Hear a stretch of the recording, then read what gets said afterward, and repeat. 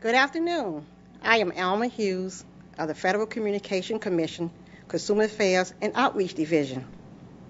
Welcome to today's webinar. Tis the season to be jolly and safe.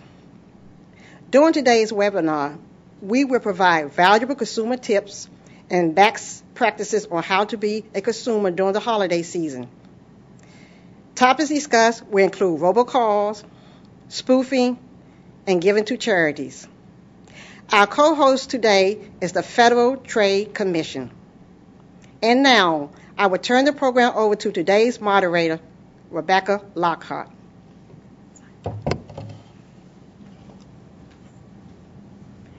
Thank you, Alma. And thank you all for being here. I'm joined by my colleague Diana Coho, our co host from the FTC, Colleen Tressler, and my other colleague, Celeste McRae. So, the first topic we're going to go over is mobile device theft prevention. Celeste, could you please go over some tips to some steps to prevent mobile device theft? Yes. Although mobile device theft has gone down in the recent years, we still have millions of Americans who are out there who fall victim of cell phone theft. So, some of the suggestions that are made uh, to safeguard your cell phone would be to set a password. This could be through either a face recognition software, a PIN, or your fingerprint. The next thing you need to do is um, record those special uh, serial numbers that are on the back of your battery. It's called a MEID, which is a mobile equipment ID, or your ESN number, which is equipment uh, serial number. So those inf- that information you need to take and uh, place to decide uh, for later.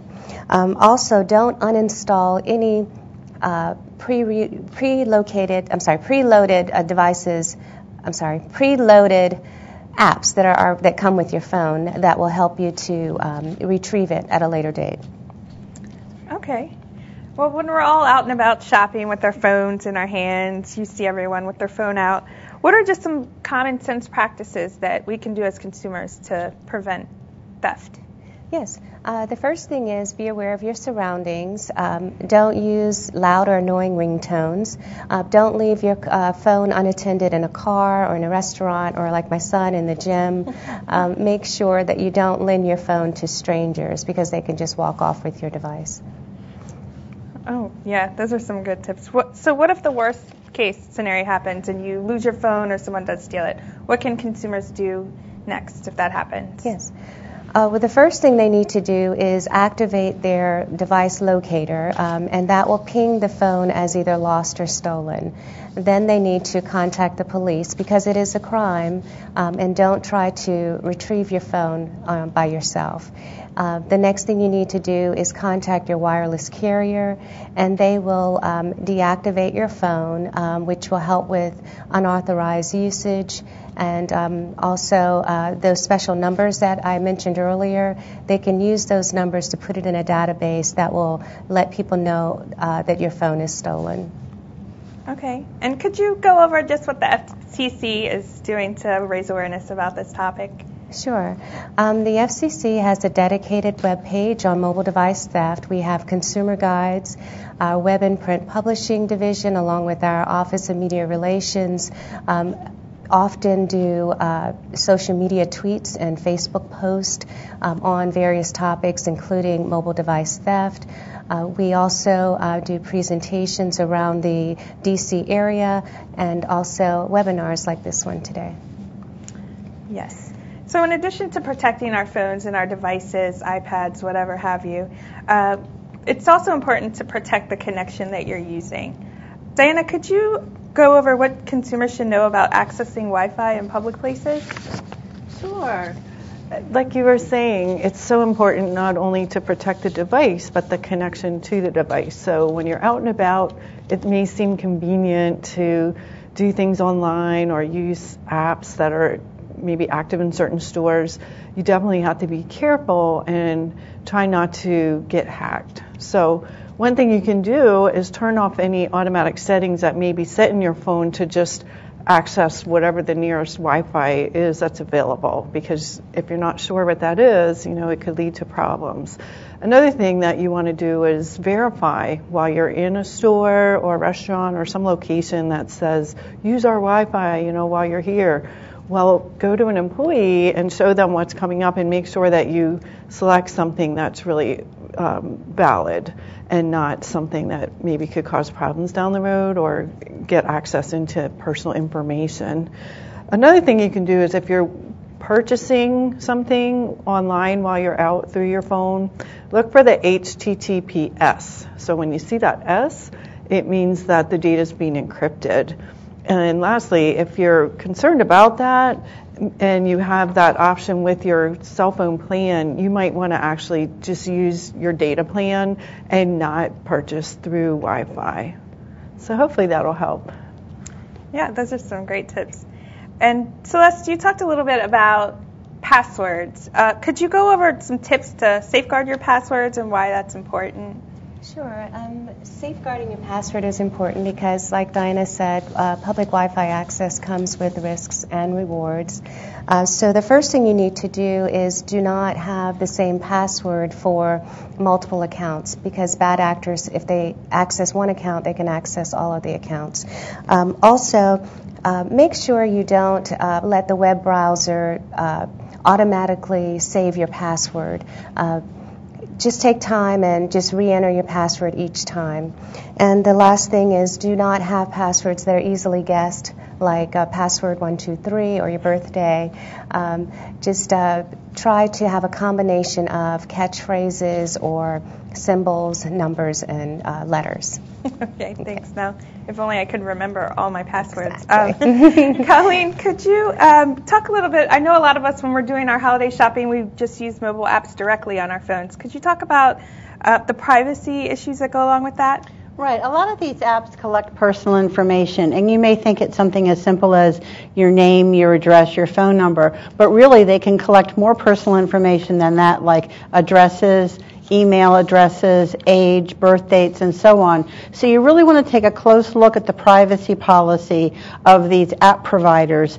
And you know, if it's not something that you're agreeable to, don't use that app. Maybe look for a different app. Some apps are free, some cost money, um, so you might want to take that into consideration as well. Okay. Now we're going to move on to a topic that both our agencies know a lot about, and that is robocalls. Um, Diana, what are robocalls and why are they becoming such a problem? Robocalls are those annoying auto dialed calls that you get, and it's usually a pre recorded or artificial voice. It can also include unwanted text to cell phones, and it's more and more prevalent as it gets easier and easier for bad actors to basically create these calls and just push them out. So we've tried to keep up with the changes in technology, and as soon as the rules go final, and then they find a way around them, and then we try to keep up again. So we recently did update them last month, and we're making it easier for providers to try and um, take measures also. So you can ask your providers if there are things you can do. You can also um, opt out. You should be able to opt out, and most of them do require some type of permissions. So just having a business relationship with a vendor is not a valid reason. And even if you did consent at one point, it's easy to change your mind. And if people don't leave you alone, write it down and file a complaint. Let us know. Okay, great. And what is spoofing and how is it related to scams? Spoofing is when somebody manipulates the number that comes up on your caller ID. So, what caller ID should do is reflect who's placing the call, and then you can decide whether or not to pick up. But what happens is there's people that will do something so that it's either not the right person or it makes it look like someone that you could trust. And they're trying to trick you into answering the phone so that maybe they could sell you something or get some type of personal information that could be used later maybe in ways that are not ethical. So um, for example uh, mirror spoofing is a technique where the caller id will show the, the number actually your phone number And so people will think, what in the world? You know, who's calling? Who? This is my number. I'm not calling myself, right? And then that's when the game is on. So now they have a live person on the phone, and someone may try to convince you that you've won something, or maybe that they're trying to help you out with some financial plan to consolidate bills and start trying to get credit card information. Or another one that happens this time of year is with utility companies, and that may not be mirror spoofing, but sometimes the caller ID will show like a local oil company or gas company or something. So people pick up and think, wow, what's going on? And if it's a scammer, they may try to harass you or threaten you and say, like, if you don't pay this bill right away, you're going to lose service. And then they'll say, oh, we could accept credit card payment. And then they'll get your credit card information. And that's when the problems occur. So you don't know who it is, don't pick up. And if you're not sure, you can hang up at any time. But um, if you think there could be something to it, you can say, you know, I have to call you back. And then independently verify the phone number of the service provider, call them yourself, and then find out what's what. So those are some tips that can help you if you think you've been spoofed. Yeah, I, I know I've picked up some of those calls because they can be very tricky. Is there anything else that consumers should do if they suspect that they have been spoofed? One thing you should do is try to take notes, try to write everything down so you can report it to law enforcement, to us, to federal trade. Another thing that you should definitely do is keep an eye on your bills, and particularly any bills that might involve any accounts that came up during the conversation. Because if there's some way they were able to get information and then you could start seeing unwanted charges on your bills, you'd want to be aware of that and report that too. Yes. Well, as we know, the holiday time is a season for giving as well, and not everyone is bad. So, uh, Colleen, could you tell us a little bit more about before giving to a charity? Absolutely. So we know this time of year the solicitations really roll in, and we have some tips to help people decide where they want to give and through what means.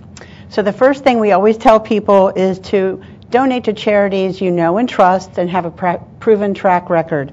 Um, on our website at consumer.ftc.gov, we actually tell people to check out the charity with organizations like the Better Business Bureau's Wise Giving Alliance, Charity Navigator, Charity Watch, and GuideStar, and we do provide links to those organizations on our site. Um, the other thing we tell people, if you really want to donate, um, some of these calls are coming from the charities themselves, but other charities may be hiring paid fundraisers. And of course, those paid fundraisers have to get paid. So where do those payments come from? It comes from your donations. Um, some paid fundraisers get as much as 50% of your paid donation um, as part of their payment. So what we recommend is if you want to ensure that more like 100% of your donation goes to the charity, just, you know, pay by credit card directly to the charity, write a check, and so on. And I know the FTC has a lot of great resources on other holiday topics, such as Don't Let Scammers Take Away Your Holiday Cheer, and a brand new blog that you guys just put out uh, on holiday shopping tips. So, is there anything you want to say about those? Right. So, the holiday shopping tips is um, front and center at consumer.ftc.gov, so you'll see the full list there. But just um, some of the, the common sense things that we always tell people is, you know, make a budget. Um, you may think it's just going to be for um, presents and meals and that type of thing, but incidentals always come up. Impulse purchases always come up as you're checking out. You're in the holiday spirit. You say, oh, that would be cute for somebody, but you really need to stick to a budget. Um, the other thing is um, there are resources to do online comparisons. Um, and one thing we are aware of at the FTC is that you want to be careful about what other people say about products and services. Um, if there are reviews, you really want to check multiple sources. Um, we have had instances where people have been tied to products and services and they're getting paid. Um, if they are getting paid to endorse or promote a product, it has to be stated as such. So it's plain right there for you. Um, the other thing we want to make sure people know is if you use a mobile device or a computer um, to shop for deals, you might get unexpected emails or texts, and these may actually be leading to fraudulent websites. once you said about people trying to get personal information, credit card information, and so on. So we really encourage people to um, know, use sites that they know and trust, just like when you um, donate to charities. Great. Yeah, those are some great things to keep in mind, especially that budget. Uh, I always seem to find something that I need as well. Um, is there anything else that you all would to share? Any last holiday tips or anything you forgot to mention while you were going over our topics? Sure. Basically, again, with the robocalls or the spoofing, try not to answer. If you do answer and you're not sure what's going on, hang up. But another thing I forgot to mention is you might hear something like to stop getting calls like this in the future, press one. And basically, you don't want to do that either because what's happening is that you're verifying that someone's home at that time. So it could actually lead to more calls at that time. And they target people, especially like older Americans too, that especially on the landlines, they're more likely to be at home and they're more likely to answer and then they're more likely to start talking. So there's there's a lot behind this that can be very unscrupulous and you just want to try to limit the contact as much as possible. But again, if if anything does happen and you, you want to report it, you know, help us help you. So let us know and let us know what's going on and record everything, the date, the time, what went on, and and we're going to try and stop it as best we can. Thank you. Yeah, thanks. Uh, the FCC also recently put out a consumer alert uh, called "Beware of Holiday Season Phone Scams." So that's going to be on our event page, and you can find it on our website as well. And we also have a message from Chairman Pai on robocalls and spoofing that just kind of drives home all these points that we've gone over. So take a look at this message from our chairman. Well, robocalls and spoofed caller ID are too often used to scam consumers. Consumers shouldn't answer the phone if they aren't sure of who is calling. Legitimate callers, of course, will leave you a voicemail if they want to. If you do answer a call, don't give out any personal information. Some scam callers often try to scare consumers into giving them money, often via gift cards. Law enforcement and government agencies will never ask you to make a payment through a wire transfer or with a gift card. If someone calls you claiming to be your utility, just tell them you'll call them back. Look up their number on a legitimate website or a bill and use that number to contact them. And file a complaint at fcc.gov. Complaints matter. We use them to help catch those who break the law, and they're important in helping us to update our policies to make sure that we have the rules in place to go after these robocalls before they're unleashed. Well, thank you all for joining me and sharing all these wonderful consumer tips. Uh, we hope that everyone out there heard something that will help them along the way. Um, we want to share our event page with you. At, uh, we'll show a list of links that you guys can access. Um, and this is also links to the FTC consumer page where you can go and sign up for those consumer scams, as well as our FCC consumer page, which also has a link to our complaint portal. And just the event page at the top is where you can find all the resources. There'll be a archived video of this event. And at any time, if you have any questions, we weren't able to take live questions today, but if you have any questions, you can reach us here at outreach at fcc.gov or Colleen directly at the FTC at ctressler at ftc.gov. And thank you all, and we hope you have a jolly and safe holiday.